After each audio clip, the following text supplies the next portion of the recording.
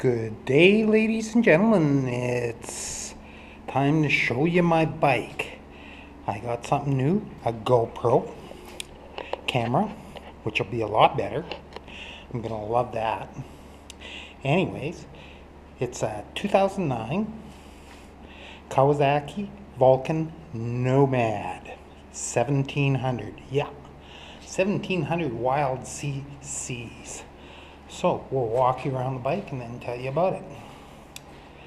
I've done a bit to it that you can't see. It's got two oil drain plugs on it and I put in uh, two magnetic drain plugs. They're about 80 bucks. Uh, they're a high, uh, high strength magnetic drain plug and they are strong. So it'll remove any foreign material that might come in there. Uh, I've also got a K&N filter in it and a Cobra Power Pro digital tuner, which has helped. It smooths the bike out. The bike has problems with a little bit running rough, backfiring, popping, uh, decel, uh, that type of thing, and it does help. So, uh, put that on, and it gives it a little more power too, I believe. So, the next thing I've done, we'll bring you up front. We've got driving lights, and they're the Kawasaki Fire, and Steel, and they have the switch right back of the driving light here, if you can see it. Uh, if you want to switch it off and on manually.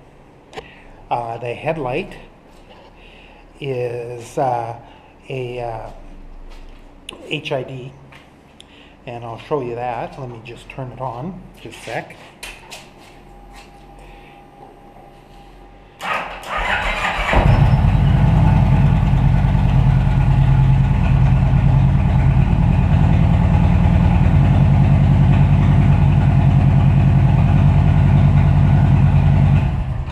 So, here you might be able to see it. To get high beam, it moves in the bucket. I'm not sure if you can see that. The headlight moves. And when you're on high beam, the driving lights shut off. Okay? So, that's that. Up here, the guy before me put these little diamonds on, and I really like them, and people have commented on them. They really like them.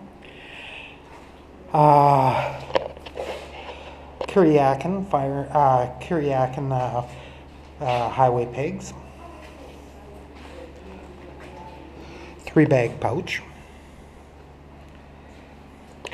Uh, leader manufacturing. I've got all their their uh, mounts. This one's for the iPod here, and they're billet steel, and they're really good. Um, this one here that you see, GoPro on it. Then my GPS is mounted on one, and my cup holder. Now that, if you can see under here, uh, is a double mount. Uh, both of them are mounted on one mounting point. You don't have to have two clamps on the handlebar. There's a bar that runs across. And that's all done by Leader Manufacturing of the United States. Very nice stuff. If you take this off, uh, you can put a coffee cup in there. Uh, otherwise, pop bottles, that type of thing. Also put this on, the visor. And while I'm talking about visors, yes, I put the visors on the headlight and driving lights too. Okay, so come back around. Um,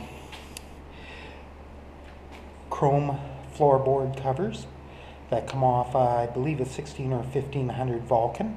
I ordered those. They're the cheapest thing on the bike. I think they're seven bucks each. Uh, everything else is pricey as hell.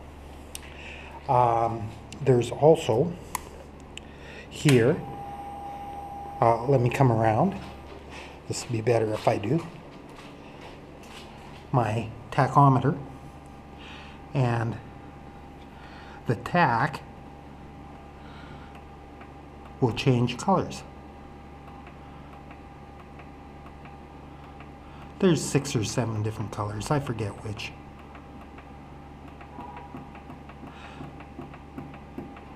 I kind, kind of like that one there myself. Okay, uh, down here uh, in your oil drain, uh, in your oil uh, where you check your oil, I put in a temperature uh, probe. Uh, it, it does work very well. It's high strength. I tested it in boiling water. It tests out at 212 degrees uh, in boiling water. Um, now, back here, I changed my, on both sides, my helmet holders. I mounted them on the rear rack, which is a fire and steel rear rack. Um, Kuryakyn license plate frame and mufflers are Cobra tri-ovals. Um, also put on a Vulcan emblem on the back of the backrest, the passenger, to take up that space. Crazy little thing, about 58 bucks for that. And my big investment is the uh, uh, Russell Day-Long uh, seat. Uh, it's leather and vinyl. The top is leather. The bottom is vinyl. Uh, the sides are vinyl. Uh, backrest. And I got my backrest also done to match. And I got a pouch on the back of the backrest. And you must get that made at the time you're uh, ordering the seat because they got to put the snaps and everything on.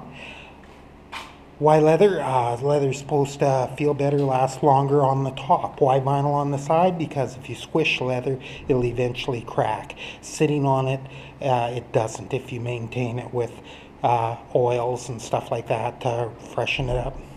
It won't. It'll leather will outlast vinyl that way. Um, but uh, now you notice it's a bigger seat, bigger wings. Uh, the negative, the only negative to Russell Day-Long is you got to kind of stand up to uh, uh, hold the bike up at a red light or whatever. Um, this folds down the backrest for a passenger to get on. Um, and if you see that little steel wedge right here, as you push it up, that pushes the backrest forward. Bring it down, the backrest goes back. Uh, you can also raise the backrest up and down, and you can take the backrest right off and use it without a backrest.